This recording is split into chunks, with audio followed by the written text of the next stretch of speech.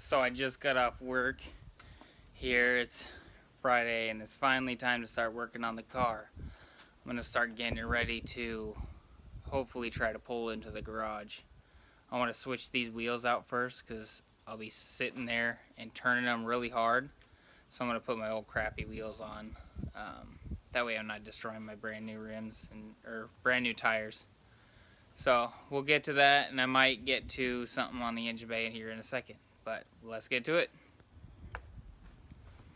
Here it is. I got the jack stand out here.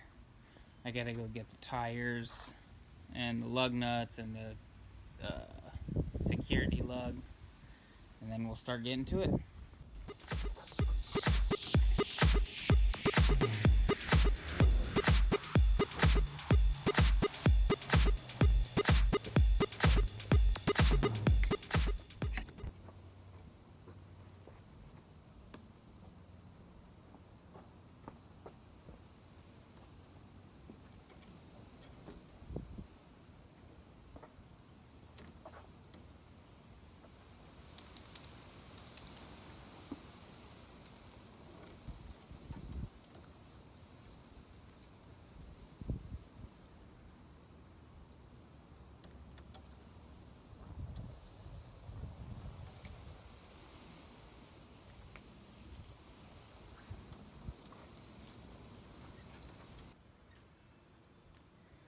I managed to pick up a set of these uh, racing composite lug nuts and they're the best thing I've ever come across as far as lug nuts. So it's got this little silver piece right here that spins, acts as a washer.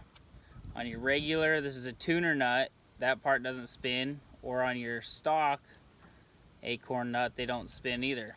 But this one Maybe I can draw a line on it.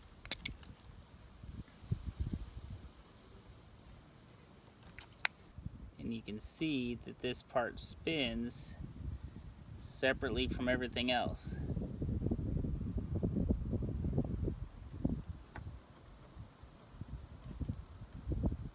They're amazing. They do wonders on the rims.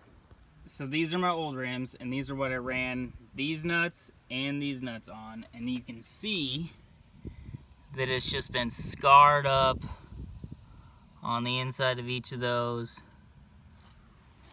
Here's another one chipping away at the paint.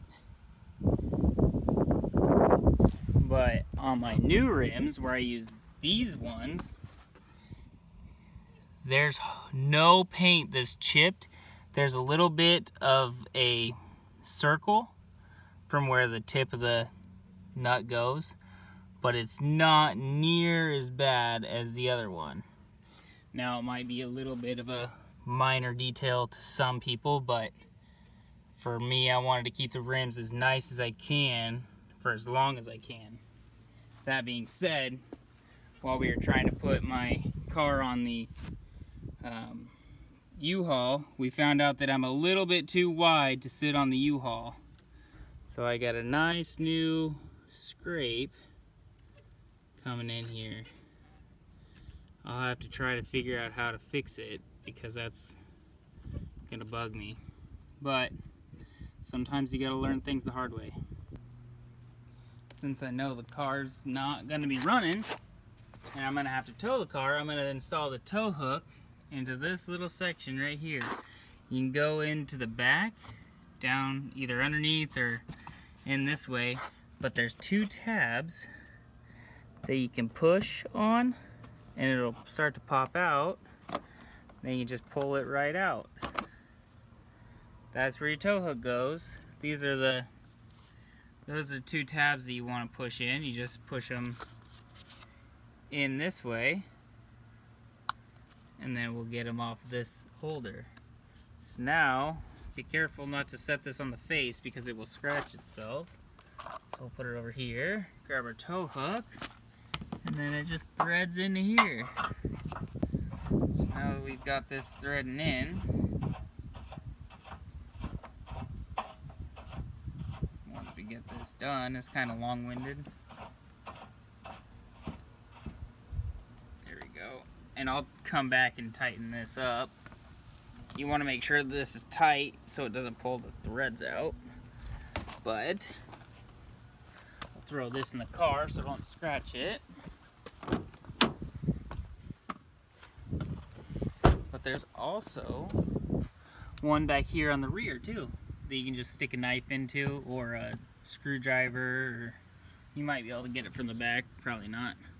But it'll pop out and there'll be another screw that you can put into it on that side too for the back. Since the tires are off, it's always a good idea to pull all the rocks out of them because you don't want them getting jammed in there. And it's also a good time to take and inspect your tires. You want to look for uneven wear or a nail stuck in them, anything that just kind of stands out out to you as a, being a potential problem because you can fix it a lot easier with them off the tire than on it because you can just put it in the back of the car and head on out.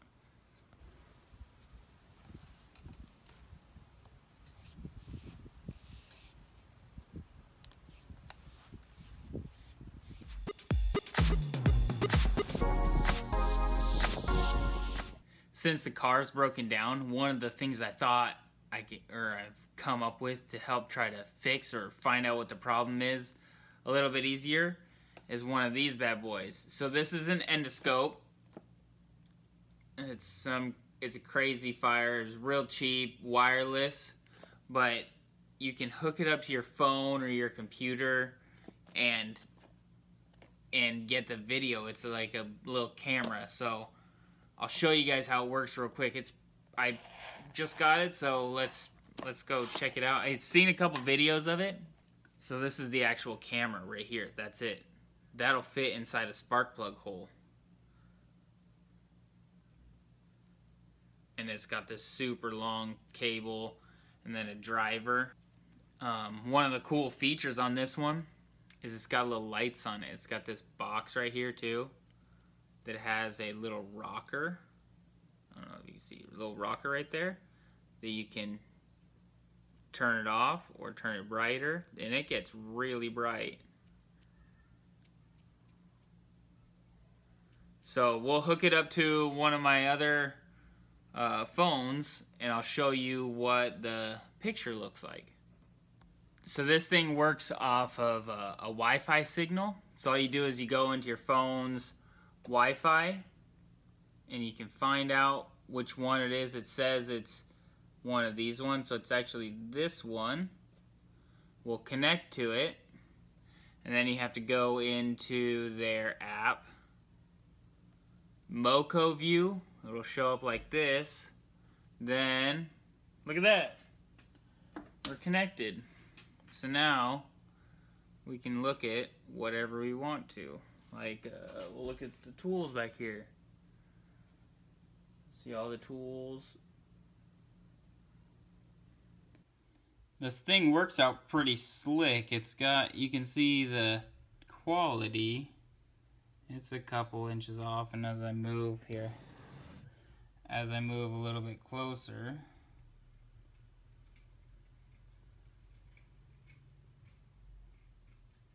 you can still one of the things that sucks is I've got shaky hands and making it shaky kind of sucks.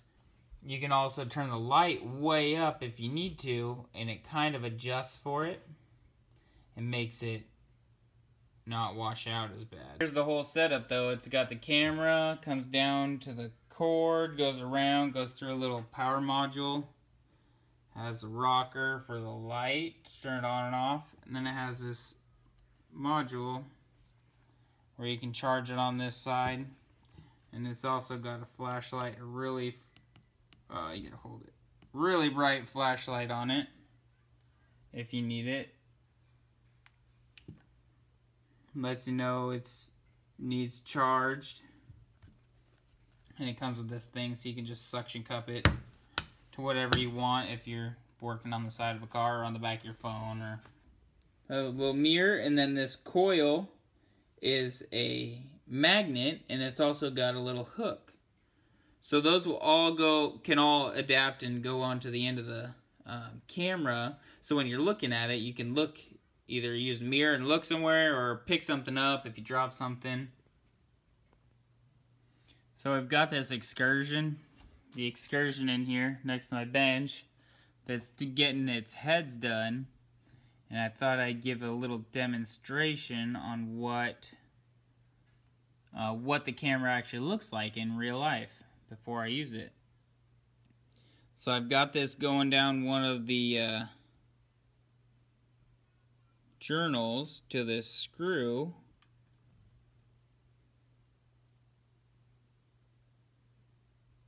You can read the casting marks. This thing's going to be pretty slick. I think it'll help me out a lot with diagnosing everything. So this is the full what it can see.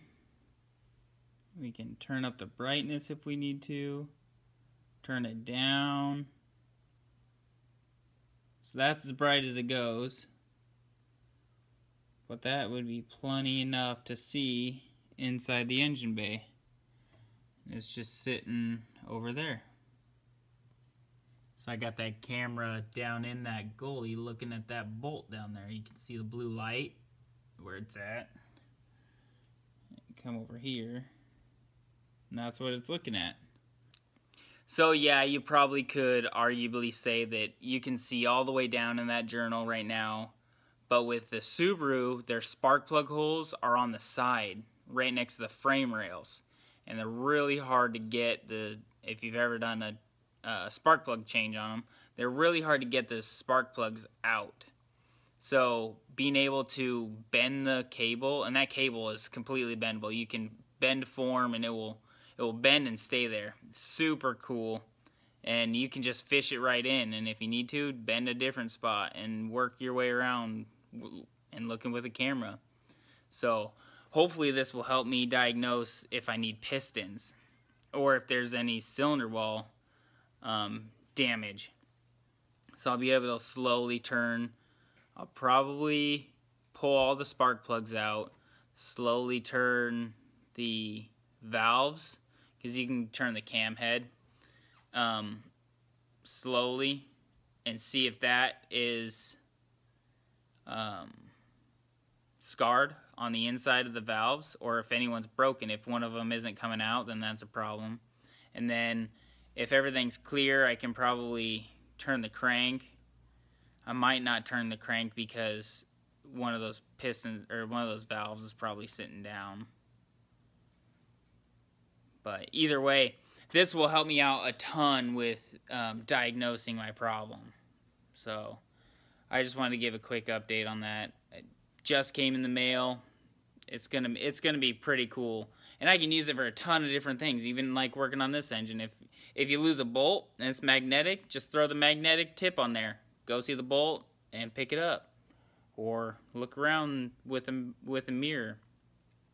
There was times on this excursion where we could have used it to look into the pistons there.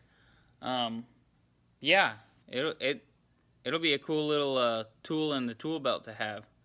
Uh, thank you guys again for watching. This is a quick little update. I'm not sponsored or anything by this product. I just saw it online and thought it was pretty cool to use. So hopefully I'll use it and be able to use it a lot.